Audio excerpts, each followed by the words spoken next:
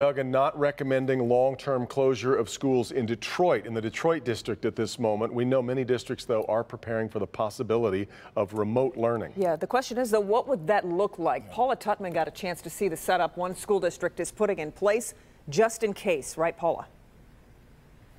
Yeah, and you know what? Uh, no pun intended, I promise you, but this really is textbook definition of proactiveness. You just talked about school districts that are closing for several weeks. Well, the Rochester Community School Districts, they know that that may be a possibility for them. They don't want that to be time off or vacation. They're getting ready just in case to keep learning going.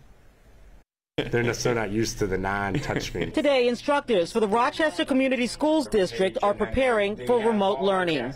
That means that we're going to use our computer platforms to connect uh, with our students on a, on a long-term basis in order to provide world-class instruction. These computer programs have been used in the past for enrichment, a teacher records a lesson or live streams a lecture, and so the basic infrastructure is in place. And this is what they would see if they were in front of me every day anyways. But now that infrastructure is being broadened, expanded, just in case the school system has to shut down because of the COVID-19 strain of the coronavirus. This is kind of stuff that we do anyways, but now we're just gearing it up that extra level. I can have kids respond to this poll, I can have them respond to questions, and I get that feedback in, in live time as we go through this. The beauty of technology is that with some of these programs, teachers can actually know who is present and who is truly present for the lesson, even if the student is at home.